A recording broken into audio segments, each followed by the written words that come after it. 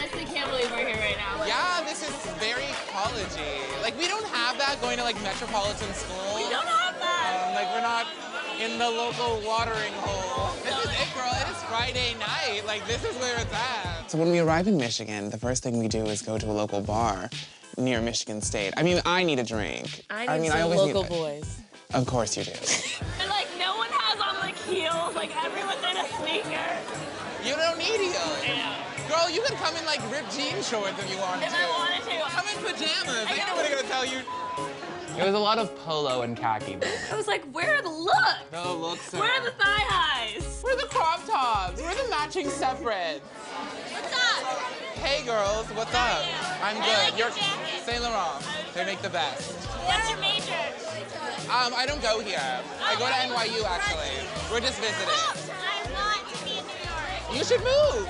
Only in Michigan do I get hit on by a girl. My Definitely consider lives in moving. New Jersey, so I go to New York So perfect.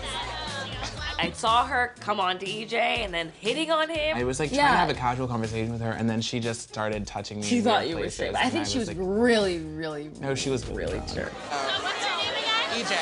EJ. I'm Yeah, Diana. nice to meet you. Wow, A my pleasure. situation. Woo! Go green! White!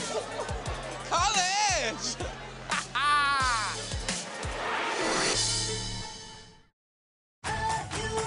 I'm going to New York to take my career to the next level. This is not a situation where you can buy your way in. It's gonna get a little ratchet, so hold on. Watch EJ NYC only on E!